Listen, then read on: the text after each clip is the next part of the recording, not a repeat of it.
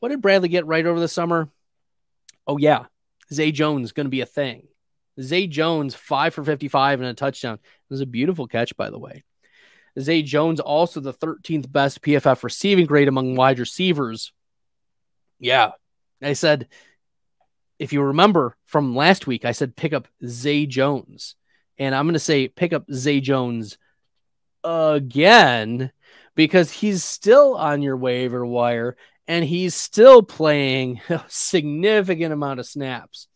So you should be picking him up. Zay Jones played one fewer pass snap than Calvin Ridley. He ran the same percentage of routes as Calvin Ridley.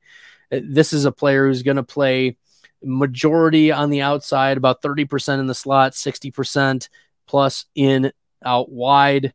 Calvin Ridley is our outside wide receiver, but Christian Kirk is the one who comes off the field during two wide receiver sets. It's going to be Zay Jones and it's going to be Calvin Ridley on the outside for Trevor Lawrence.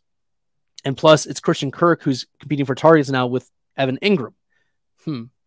So, nevertheless, you need to be picking up Zay Jones again because his role was confirmed to us in week one. He was a producer. He got five targets, caught all five of them for the touchdown, 55 yards.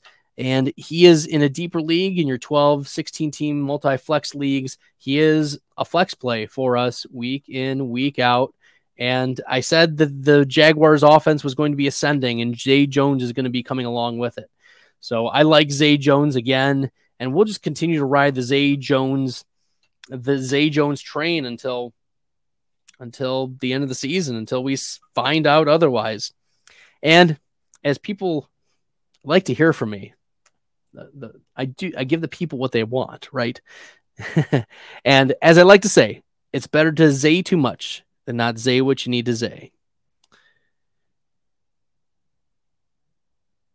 If you like the content and find this helpful, make sure you hit that red subscribe button. Really helps the channel,